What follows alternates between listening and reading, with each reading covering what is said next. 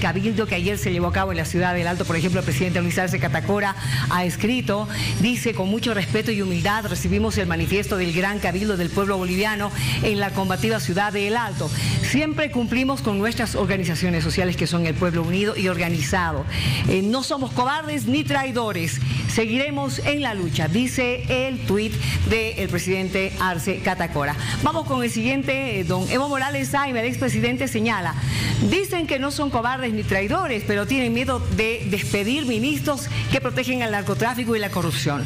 Por eso pagan un cabildo para que les pida cambiar gabinete. Repito nuevamente, dice Evo Morales, que si el gobierno quiere terminar bien su mandato, tiene que librarse de ministros que en vez de hacer gestión se dedican a buscar la destrucción del MAS y PSP. Tenemos uno más, por favor del presidente. Nuevamente, dice el presidente Luis Arce, siempre respetaremos a nuestras organizaciones sociales, que son el pueblo organizado y unido, que merece el respeto de todas las autoridades. Somos un gobierno del pueblo y para el pueblo.